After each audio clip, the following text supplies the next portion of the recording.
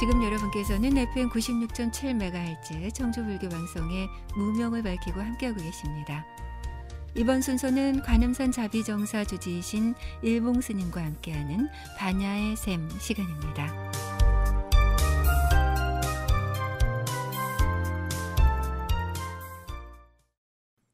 안녕하세요. 관음산 자비정사 서일구입니다. 우리 불자님들 어, 세상에 살면서요. 대부분이 보면 돈이 제일이다라고 하는 분들이 참 많으셔요.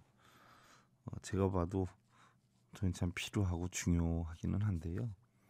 꼭 제일이라고 하는 것은 사람의 어떤 기준마다 좀 다를 수도 있지 않냐는 생각이에요. 여러분들 뭐 돈이면 다 된다라고 생각하지만요. 사실 돈으로 안 되는 것도 적진 않잖아요. 그죠? 우리 불자님들 예를 들어서 우리 삶의 나이라고 하는 것이요. 우리 스스로 결정할 수는 없는데요. 또 어떻게 보면은 우리 인생의 넓이와 깊이는 우리 각자 자신의 마음대로 만들어갈 수 있다는 생각이고요. 그리고 우리 얼굴의 어떤 모습이야 부모님께 받았기 때문에 우리 마음대로 할 수는 없었지만은요. 또 요즘은 성형도 많이 하지만 우리 각자 얼굴의 표정은 우리 스스로 마음대로 만들 수 있다는 생각이기도 하고요. 비가 오거나 눈이 오고 또 맑거나 흐린 그런 날씨는 우리가 어떻게 할 수는 없지만요. 우리 마음으로의 어떤 기상, 마음의 날씨는 우리 각자 스스로 만들 수 있다는 생각이기도 하지요. 그러나 우리는 우리 마음대로 할 수 있는 일들도 원만하게 만드는 것이 사실 쉬운 일은 아닌데요. 우리는 스스로 할 수 없는 일들로 인해서 걱정하고 염려하는 경우가 적지 않다는 그런 생각이기도 하지요. 음, 우리 불자님들 돌아보면은요, 인생이 참 짧아요. 어찌 보면 하루는 우리 각자 스스로의 마음에 따라서 길 수도 있고 짧을 수도 있다는 생각인데 어찌 보면 어, 순간의 찰나와 같은 것이 우리 인생일 수도 있다는 생각이기도 한데요. 우리 불자님들 상황에 따라서 마음에 따라서 하루가 짧을 수도 있고 길 수도 있지 않아요? 결코 어떻게 보면 짧지 않은 하루하루를요 정성껏 갖고 나가시기를 기원을 드리면서요 오늘도 부처님의 진리로 행복을 심어주는 청주 BBS 불교 방송 무명을 밝히고의 경전교리 제 194회차 음, 반야샘 시간을 통해서 여러분들께 인사를 드립니다. 관음산 아, 자비정사 서길봉입니다. 지난 시간에는요 우리 불설 아미 타경 가운데 제 5품 음, 바로 모든 음, 새들의 소리가 어, 법문을 한다라는 상황 거기에서 바로 오건, 오력, 칠각지, 팔정도 분에 대해서 다시 한번 살펴봤고요. 팔정도다라고 하는 것은 바로 우리 불가에서 중도에 도다라고 하는 건데요. 어, 바로 어, 올바른 어, 깨침으로 인도하기 위한 가장 합리적인 그 방법이다. 또 중정의 수행법이다 이렇게 표현을 하는데요. 그 여덟 가지가 첫째는 세상의 모든 것을 바르게 보아야 한다는 정견이고요. 또 바르게 보다 보면 어떻게 돼요? 음, 바른 생각을 할 수 있게 되는데요. 또 바른 생각을 해야 된다 해서 정사라고 하고요. 바른 생각을 하다가 보면 어때요? 말도 바른 말이 나가게 되죠. 그래서 이걸 세 번째로 우리가 정어다 이렇게 표현을 하고요. 또 바른 말을 하게 되니까 어떻게 돼요? 바른 행동을 하게 되지요. 아, 그래서 네 번째로 정업이다 이렇게 표현을 하고요. 그 다음에 바른 업을 지으니까 뭔가 의과 뜻으로 바른 행동을 해서 바른 업을 지니까 우리는 올바른 생활을 할 수가 있다는 얘기예요. 그것이 바로 다섯 번째로 정명이고요. 올바른 생활을 하니까 어떻게 돼요? 올바른 노력을 하게 된다는 것이죠. 그래서 이게 여섯 번째로 우리가 정정진이다 이렇게 표현할 수가 있고요. 또 올바른 노력을 하다 보니까 모든 것들이 올바른 기억으로 남게 되고요. 그래서 바로 올바른 생각을 하게 되는 정념이다. 올바른 기억을 한다 하는 것이고요. 마지막으로 여덟 번째로 정정이다라고 해서 올바른 정신 집중을 어, 해야 된다라고 표현을 했어요. 그래서 우리가 그 팔정도를 사막으로 분류해 보면은요. 바로 바르게 보고 바르게 생각하는 정견과 정사는 어, 해에 해당이 되고요. 또 바른 말을 하고 어, 바른 우리가 행동을 하는 또 어, 바른 음, 삶을 사는 올바른 그 생활을 하는 바로 정어 정업 정명은 계율에 해당이 되고요. 또 바른 기억을 하는 정념과 또 올바른 정신 집중을 하는 정정은 바로 어, 계정의 사막 가운데 정으로 볼 수가 있죠. 그리고 정정진이라는 것은 이제 삼학의 공통이다라고 표현을 하는데 바로 새들의 소리가요. 이런 법문을 하는 소리다. 이렇게 부처님께서는 표현을 하셨어요. 우리가 살다 보면 하기는 법문하는 것이 없지요. 여러분들 산에 가서 어, 새소리나 물소리, 계곡의 소리 또 길을 걸어가는 것 자체도 넓은 도로가 있고 좁은 도로가 있고요. 또 울퉁불퉁한 도로가 있고 어, 바른 도로가 있고 이런 것들이 마음먹기에 따라서 다 우리 인생에 어떻게 스승으로 볼 수가 있죠. 단지 내가 세상을 어떻게 바라보냐, 내 마음이 어떤 마음으로 보냐에 따라서 다른 것이지요. 스승으로 본다면 스승 아닌 것이 하나도 없습니다. 여러분들 새소리도 물소리도 그렇지만 또 하늘을 봐도 역시 마찬가지 않아요. 풍경 소리 하나를 들어도 그렇고 여러분들 일상생활하는 말이나 행위나 스승 아닌 것이 없고요. 또 시내 보면은 차량이 많이 다니고 그러는데요. 차량에 운전하는 모습 하나만 봐도 스승이 될 수 있어요. 바르게 다니시는 분들이가 있는가 하면요. 막 여기저기 위험하게 막 이렇게 그냥 꼬불꼬불 막 위험하게 다니는 분들이 있어요. 그런 걸 보면 아 나는 저래서는 아니 되겠구나 하는 그런 또 깨달음을 얻을 수도 있지요. 어, 심지어 차 소리까지요. 모두가 법문 아닌 것은 없다는 얘기예요. 다만 내가 어떤 마음의 눈으로 바라보냐에 따라서 차이가 있을 것이라는 얘기예요.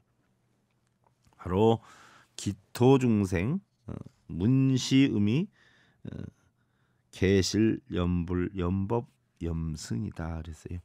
바로 부처님께서는 저 극락의 중생들은 바로 이 극락 속에 있는 중생들은 이러한 소리를 들으면서 모든 부처님을 생각하고 법을 생각하고 스님들을 생각하느니라. 그래서 여러분들 여기에 연불 나오지 않아요? 연불 연불이다라고 하면 흔히 모르는 분들은 아, 부처님 경전을 따라하는 걸 연불이다라고 잘못 알고 계신 분들이 계신데 연불이라는 것은요. 어, 부처님을 생각하는 게 연불입니다. 부처님의 말씀을 생각하고 또 행위를 생각하고 또 마음을 생각하고 이렇게 생각하는 것이 염불이죠. 그래서 염불 또는 염주라 그러는데 부처님의 말과 행과 뜻을 생각하면서 돌리는 구슬이 염주라 그러는 것이고요. 염불이다라고 해서 어떤 분들은 뭐 정구업지는 마바냐 바람일다 뭐 이게 꼭 염불인 줄 아는데요.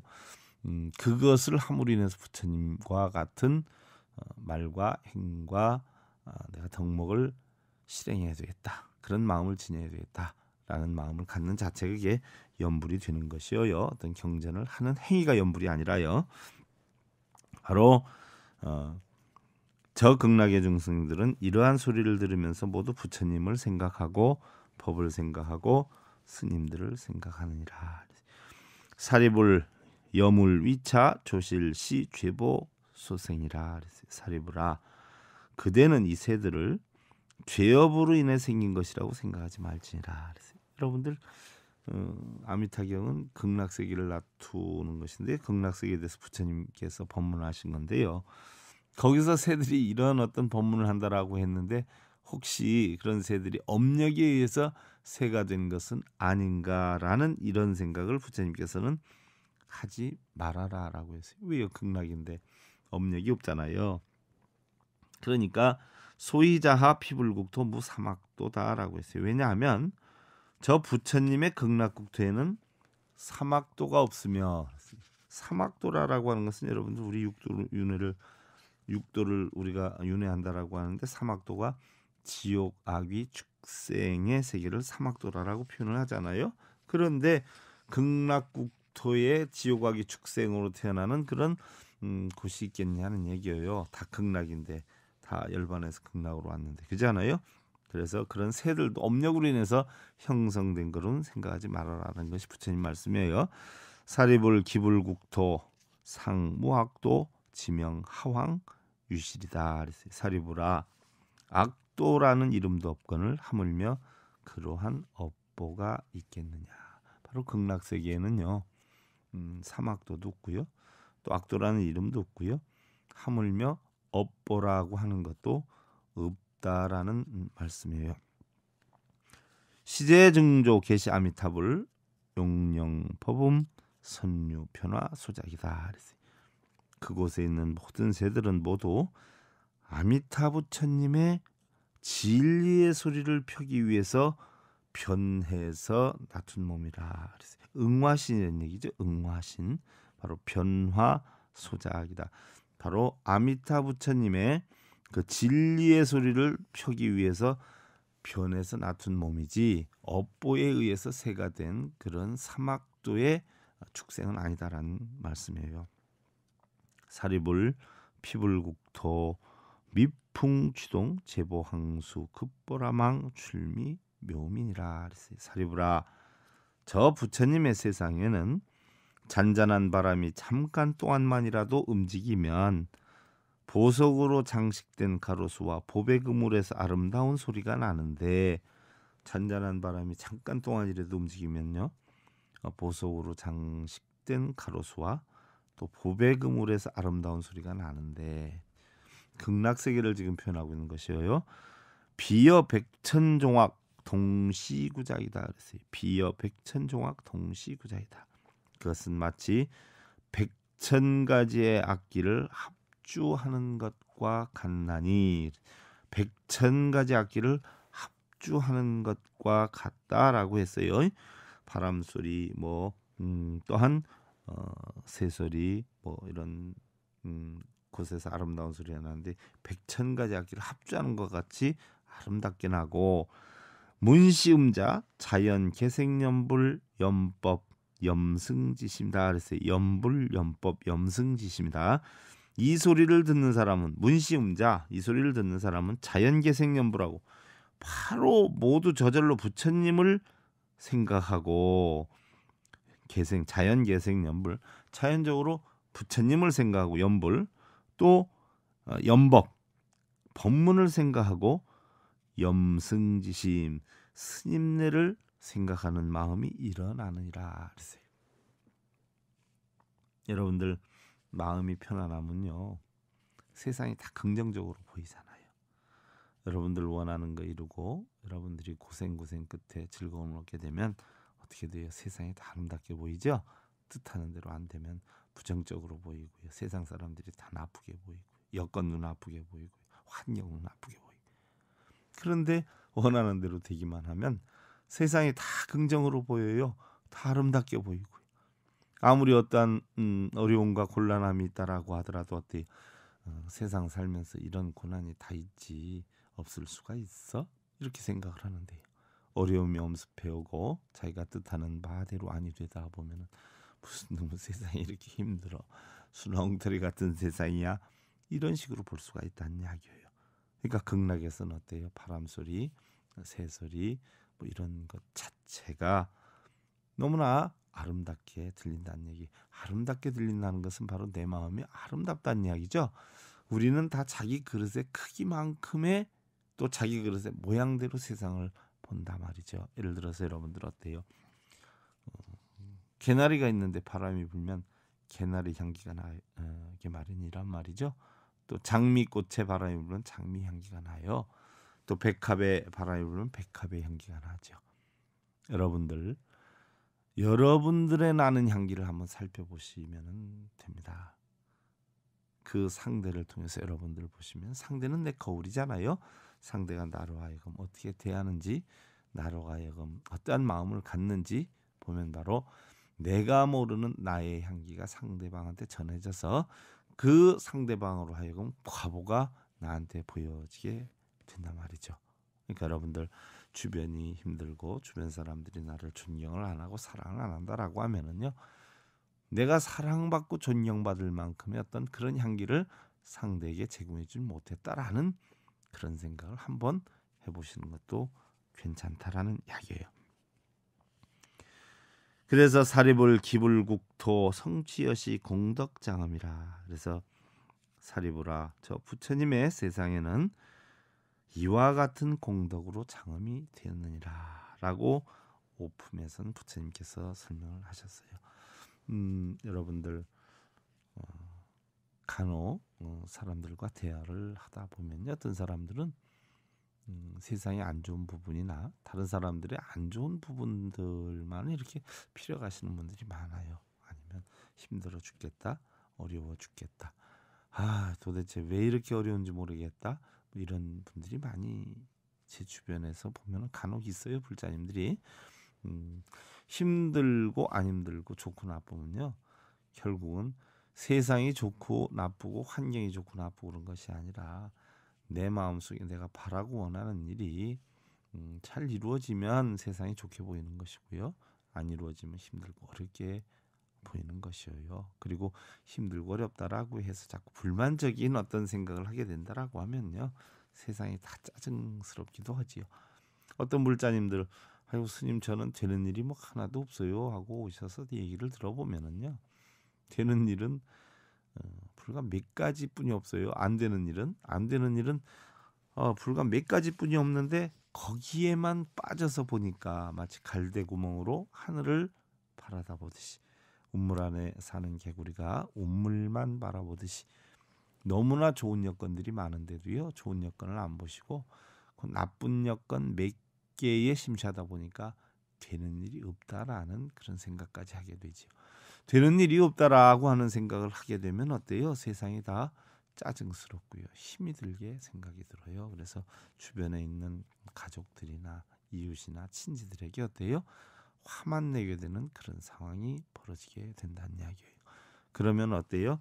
바로 우리가 음, 새 소리도 다 어, 법문이다라고 표현을 했고요.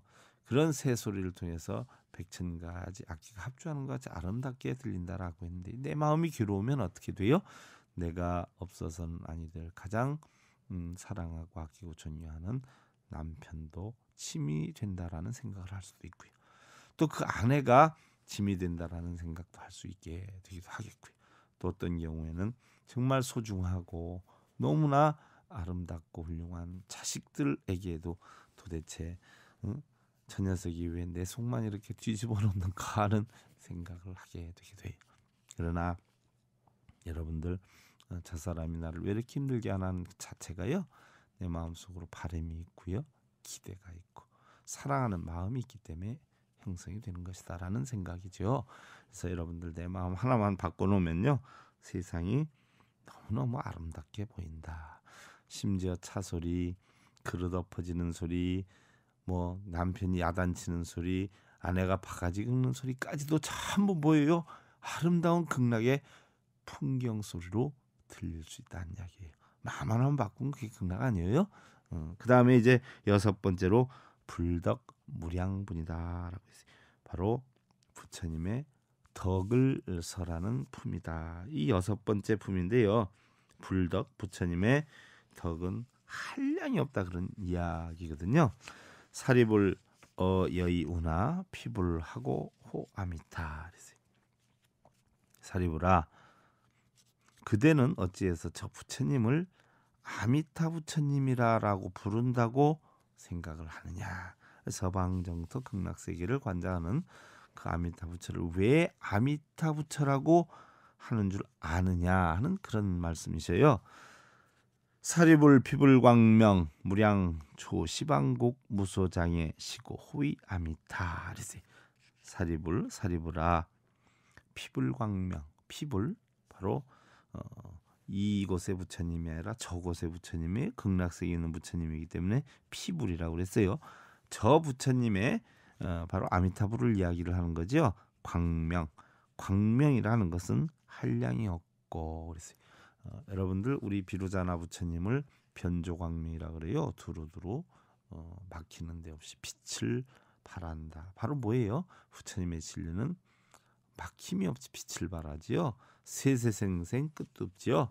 그래서 바로 부처님의 진리를 우리는 광명이다 이렇게 표현하는데 부처님의 진리로 형성된 부처님을 우리는 비로자나 부처님이라고 하지 않아요. 그래서 비로자나 부처님은 바로 광명변조다 이렇게 표현을 하는데 광명이라는 것은 빛광자에다 밝을 명이 아주 밝다라는 이야기예요. 밝다라고 하는 것은 어두운 것이 없다. 쉽게 얘기하면 모든 진리에 다 능하다. 또 모든 밝음을 준다 이렇게 볼 수가 있는데 우리 가정에서 여러분들 광명이라는 것은 뭐예요? 가정에서의 광명이라는 것은 여러분들 어, 걸림이 없고 막힘이 없고 항상 가정을 따사로이 만들 수 있는 배려와 아량과 미소진 얼굴이 바로 광명이다는 이야기예요. 보름달의 광명은 어때요? 여러분 달의 광명은 보름을 이야기를 하죠. 햇빛의 광명은 어때요? 구름 한 점 없이 아주 아름다운 햇살이 비칠 때 우리는 광명이다 이렇게 표현을 해요. 그럼 여러분들 가정에서의 광명은 뭐예요? 음, 우리 보살님들이 됐든 거사님이 되었든 어때요? 항상 빵긋 빵긋 웃으면서 편안함을 줄 수 있는 여러분들 날씨가 따뜻해야 새싹이 자라지 않아요. 추위가 있을 때는 새싹이 안 자라잖아요. 만물이 자라려면 해가 많은 여름에 잘 자라는 이치와 같이요. 여러분들 가정의 어떤 온기가 돌면 일이 잘 풀리고요. 또 항상 하하하 웃을 수 있는 그 여름과 같은 그런 따사로움이 있다라고 하면 안 되는 일이 하나도 없죠. 얼굴이 일그러지고요, 마음이 일그러지고 결과 같으면 만물은 다 동면에 들어가는 이치와 같지 않아요? 그래서 바로 아미타 부처님의 광명은 한량이 없고요, 끝이 없고요. 또 시방의 온 세계를 비추어서 조금 더 걸림이 없기 때문에 아미타불이라 한다라고 했어요. 걸림이 없어서 아미타불이다. 온 세계를 비추어서 조금 더 걸림이 없다. 쉽게 예를 들면은요. 무엇이든 원하는 대로 다 이룰 수 있는 어떤 경지를 갖다 우리는 아미타라고 한다라고 보면 되는 것이죠. 바로 여러분들 음, 보살님이든 거사님이든 뭐 아기들이 볼 땐 우리 아버지처럼 훌륭하고 대단한 사람 없다라고 보잖아요. 그래서 어려서 보는 아버지상이 바로 아미타상이 되는 것이에요. 근데 커가면 커갈수록 우리 아버지도 못하는 게 많고 우리 아버지도 부족한 게 많고 우리 아버지도 안 되는 게 있다 라고 할 때는 아미타 사상에서 점점 멀어지게 되는 것이죠. 그게 또 세상의 현실이기도 하고요. 우사리불 피불 수명 급기 인민 무량무변 아승직업 고명 아미타 또 사리부라 저 부처님과 그 나라 중생들의 수명이 한량이 없고 가히 없는 아승직업이므로 아미타라고 이름을 한다. 아미타 부처님은 수명이 한량이 없다라고 해서 무량수불이라 그러고요. 또 이런 광명의 빛이 한량이 없다라고 해서 무량광불이라라고 표현을 하게 돼요. 그래서 부처님의 그 아미타불의 수명이 한량이 없어서 아승직업이라 그러는데요. 여러분들 일 아승지가 어느 정도냐면요. 어, 일자 하나 쓰고요. 동그라미가 30개 되는 걸 일 아승지라고 그래요. 부처님이 한 분 출연하려면 삼아승지 겁이 지나야 된다라고 하는데요. 그것도 삼아승지의 세월이 아니라 겁의 세월입니다. 겁의 세월. 사방 40년에 겨자씨를 잔뜩 넣어놓고요. 한량 없이 오래 사는 장수천인이 100년에 한 번씩 와서 겨자씨를 가져가서 그것이 다 없어지는 시간을 우리가 일겁이라 그러지 않아요? 근데 아승지겁이라 그랬어요. 아승지겁. 음, 한량욱하에 없는 아승지겁이라 그랬으니 얼마나 대단해요. 음. 사리불 아미타불 성불 이래 어금 십겁이다.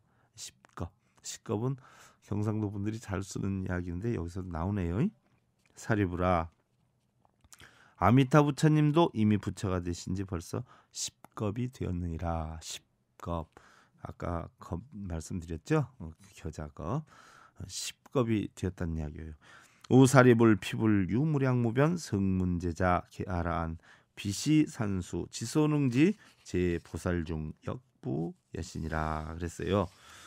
또 사리부라 저 부처님께는 어, 한량이 없고 가히 없는 성문들의 제자가 있으니 성문 제자라고 하는 것은 들어서 깨우침을 얻는 깨달음을 얻는 여러분들 어, 수다원과 아남과 아란과 어, 수담과 뭐 이런 과정이 있잖아요. 사계 단계가 제일 높은 단계가 아라한건데 바로 성문들의 제자가 있으니 이들은 모두 아라한이며 아라한 음, 예, 여러분들 단계에 지난번에도 한번 설명드렸는데요. 다음 시간에 조금 제가 보충 설명드리기로 하고요.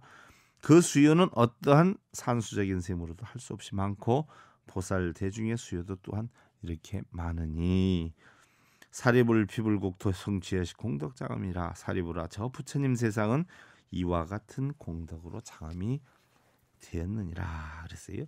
부처님 세계가 한량이 없다라고 했어요. 그래서 음, 무량강물 무량수불이라고 그랬고 야미타 부처님이요. 또 한량 없는 성문들의 제자가 많은데 하나도 한량이 없다라고 했어요. 우리 불자님들 바람이 성인대 숲에 불어와도요. 바람은 그 소리를 남기지 않고요. 기러기가 차가운 연못을 지나간다 해도 그 그림자는 남기지 않는다는 생각이에요. 그러나 우리네 사람들은 소유하기를 원하지요. 눈을 즐겁게 해주고 귀를 즐겁게 또 마음을 즐겁게 해주는 것이다라고 하면요 이것저것 가리지 않고 자기 것으로 만들기를 주저하지 않지요. 남의 것이기보다는 우리 것으로 만들고요. 그리고 우리 것이기보다는 내 것이기를 바라고요.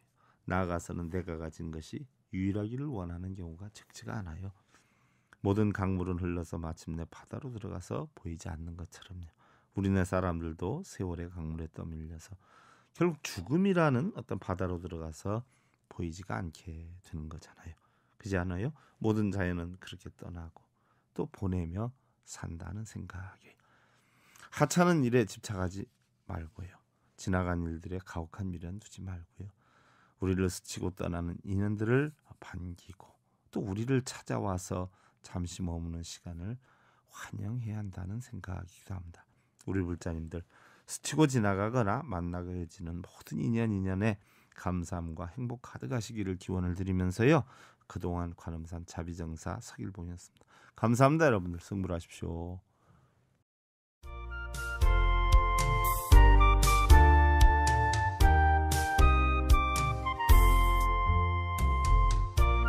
지금까지 관음산 자비정사 조제이신 일봉스님의 반야의 샘 함께 하셨습니다.